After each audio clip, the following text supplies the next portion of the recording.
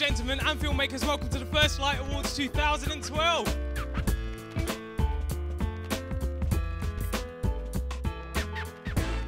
We're here today to appreciate the young people that are making films and are up and coming and are being persistent at their careers in hopes that they'll get bigger opportunities in the industry in the coming future. And the best documentary award goes to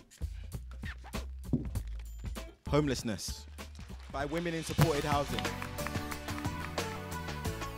The work that First Light do for me, genuinely, I think it's it's amazing. Inspiring young people to be creative and, and, and you know, giving the opportunity is, is such an important thing. And the fact that they do that, it's just, it, it's brilliant.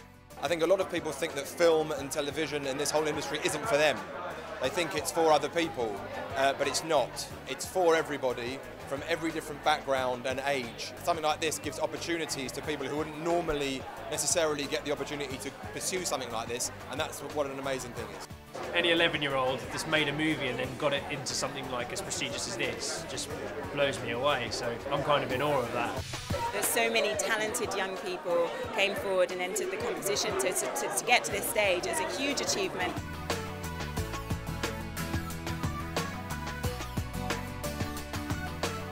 Like a really powerful medium. It's um, an important way of expressing yourself. Um, First Light sort of gives you that opportunity. I think this award is a good example of just the supportive nature of the of the organization to give us a voice really. When I first heard about it I thought it was going to be like a school-based little small budget film so it was quite exciting when there's real industry kind of experts so it's quite exciting. It's very evident that you've got a whole load of people who are the next generation of filmmakers, film critics or people who want to be involved in film and that's always exciting to be around. It feels very special to be here and be part of it actually. It feels really inspiring, you know.